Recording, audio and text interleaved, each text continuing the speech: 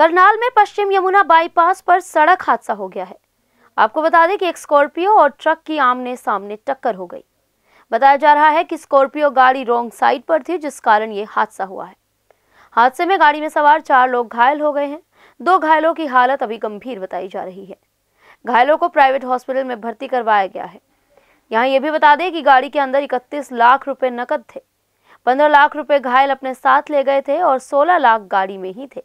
Police ने वो पैसे अपने कब्जे में ले लिए हैं। फ़िलहाल घायलों का इलाज चल रहा है। बताया जा रहा है कि गलत दिशा में गाड़ी चलाने की वजह से ये सड़क हादसा हुआ है जिसमें चार लोग घायल हो गए हैं।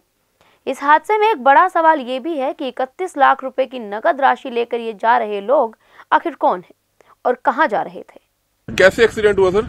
ये बिल्कुल रॉन्ग साइड से आ रही थी स्कॉर्पियो।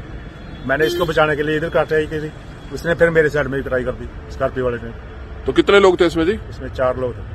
तो ये कहाँ से आ रहे थे? ये तो इधर से आए थे ये पता नहीं कहाँ से आए हैं। अच्छा तो काफ़ी घायल हुए ये भी? हाँ चोटें लग रही हैं जिनको। चारों को? हाँ जी। चारों के क्या नाम है आपका? मेरा नाम त्रिलोक सिंह हादसा हुआ और क्या देखा कहाँ पे हुआ सर ये? ये अभी आधा घंटा पहले सर हुआ है। धुंध ज़्यादा होने के कारण ये स्कॉर्पियो गाड़ी उधर से आ रही थी।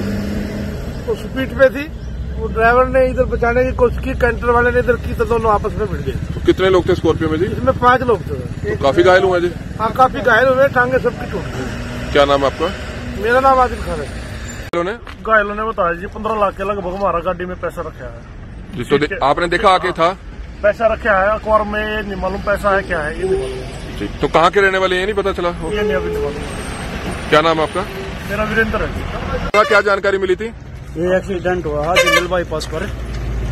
स्कॉर्पियो और अपना कैंटर का जो इसमें पंजाब के बताए जा रहे हैं पर्क हॉस्पिटल में। है तो कितने पैसे मिले हैं सर? अ, ये गाड़ी में सोलह लाख रुपए मिले हैं और उनके पास हुआ पंद्रह उनके पास भी है बता रहे हैं। ये बता रहे हैं वो पता चलेगा कहाँ से आए हैं कहाँ जा रहे तो हैं। बाकी जाँच की जाएगी कितना पैसा कहाँ से था? पैसा कहाँ से आया तो कब्जे में ले लिया पैसा? हाँ पैसे थाने में ले जा रहे क्या नाम आपका सर? अच्छी संजय कुमार। ऐसी संजय कुमार।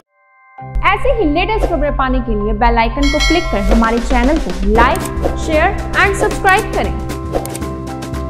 धन्यवाद।